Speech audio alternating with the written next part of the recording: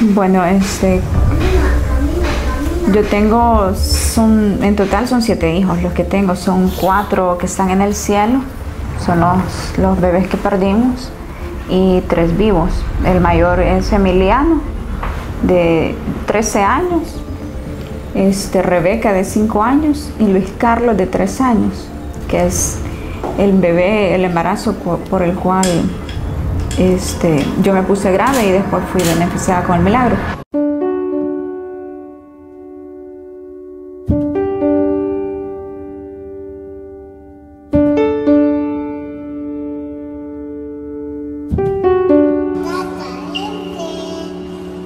procuramos nosotros guardar el, cuidado con método natural y todo eso, pero este, pues por gracias a Dios, pues apareció Juan eh, eh, eh, Luis Carlos y, no, no, pues qué podíamos decir más que estar contentos.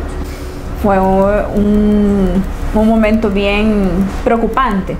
No fue triste porque, claro, el, saber de que nuevamente iba a ser madre, que venía un bebé en camino, era de alegría, pero sí preocupante porque mi estado de salud no era idóneo para, para, para tener otro hijo, pues corría estaba, la advertencia. Estaba la advertencia de los médicos, mire, o sea, corre, su vida corre riesgo, entonces... Es que ella, bueno, llega en una condición bien crítica para tener su bebé al hospital, se le hace una cesárea en términos de emergencia. Eh, después de evacuado el bebé, después de sacado el bebé, pues espera que con eso, con solo la medida de evacuar al bebé, ella pueda irse recuperando, pero no sucede así. Me mandaron de una sola vez a la UCI del Hospital General. Ya estando ahí yo empecé a, complicarme más, pues yo me sentía todavía más cansada, que me costaba hablar y el era el, abdomen más grande, más grande y me dolía, entonces era un dolor horrible. Daño renal, deja de orinar. Daño hepático, deja de desintoxicar. Bajas plaquetas o alteraciones del sistema de coagulación, sangra por todos lados encharca los pulmones, acumula líquido, los pulmones dejan de ventilar adecuadamente, el corazón deja de funcionar adecuadamente, el riñón ya no saca tampoco las toxinas, empieza a acumularlas, sangra por dentro, hace lo que se llama un hemoperitoneo, acumula sangre y líquido dentro de su abdomen. Así de complejo es todo eso. Ella, ella empezó con tres, son, con tres mangueritas, tubitos, sondas, como, como se llama, tres tubos. Al final yo le terminé contando a ella 14 tubos conectados, 14 tubos, este, tres estaban en la boca, ella tenía la boca totalmente abierta y los demás repartidos en el cuerpo, ¿verdad? Entonces, este, 14 tubitos, ella, ella entubada totalmente la inflamación era exagerada que yo le llegué a preguntar al doctor si no se le iba a rajar la piel o, qué pasaba.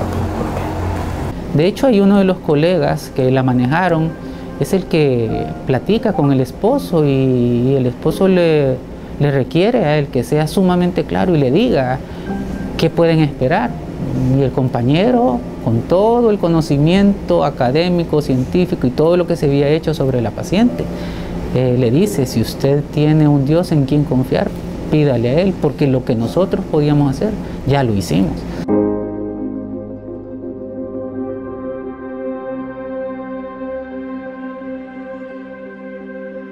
Yo de ahí salí casi como que era un zombie, yo, pensando, pues, o sea, el panorama que se me veía.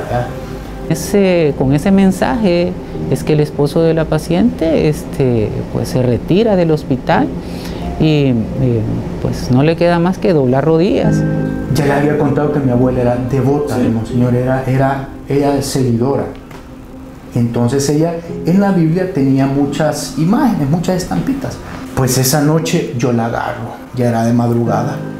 Yo agarro la Biblia y me voy a la sala y me hinco. Me voy a la sala y me hinco. Y fíjese que en ese momento voy hablando con ella, por favor, mamita, ayúdame pedirle a Dios. Y yo la abro y cuando yo abro la Biblia, se abre donde estaba el estatuto de Monseñor Romero. A todo eso yo ni pensaba en Monseñor Romero ni nada. Y mi reacción en el momento fue agarrar la estampita, la, imagen, y digo yo a mi abuela, mira, solo porque pienso que me está pidiendo que, que haga esto. Lo voy a hacer, no porque yo no, lo voy a hacer. Y fíjese que le hago la oración, hago una oración dirigida a Monseñor Romero por su intercesión. Y digo esto literalmente. Le digo, Monseñor Romero, por el gran amor que usted le tuvo al Salvador, por el gran amor que usted le tenía a la vida, por el amor que le tenía a la familia,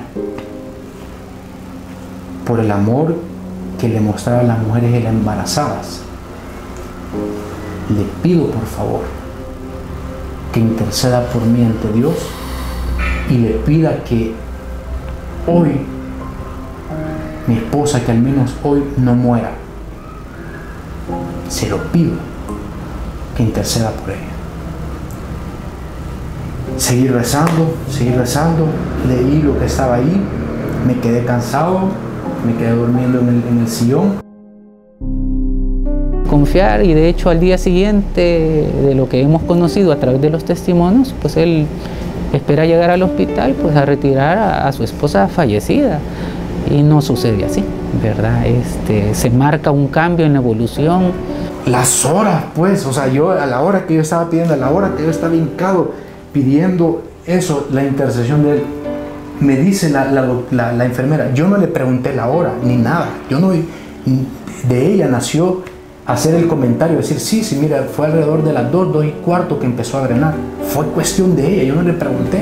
Y a partir de ese momento, progresivamente, cada día, cada día, ella va mejorando de una manera sustancial, al grado de que pues, puede ser transferida después a nuestro hospital y tres días después de haber llegado a nuestro hospital es dada de alta por sus propios medios, caminando como si nada le hubiera pasado. Sale del hospital con el 60%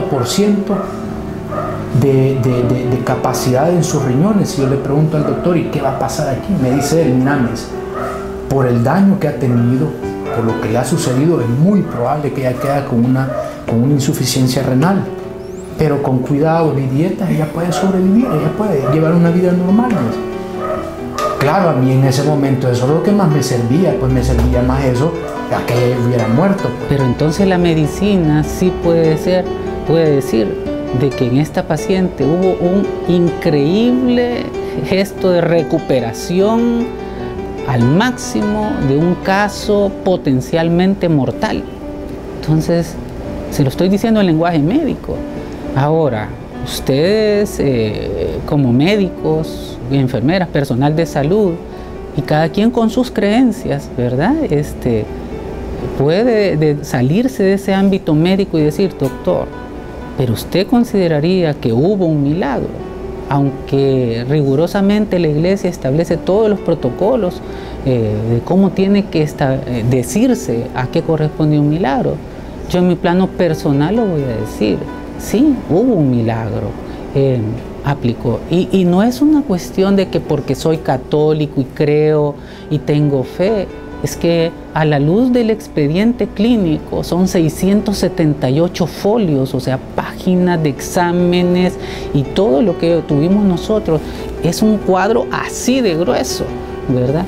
Y los seis médicos que participamos en la validación de esto, claro, a mí me nombraron un tanto así como que el enlace de este equipo y ayudé a conformar el equipo, etcétera, pero hubo de distintas especialidades, dos intensivistas, una médico materno perinatal, medicina de alto riesgo, otra ginecóloga, dos directores de hospitales. Eh, hay muchas cosas que hay que preguntarse de las cuales se pueden arrojar cosas buenas porque se van a dar cuenta de que todo, las respuestas, todo lleva a Dios.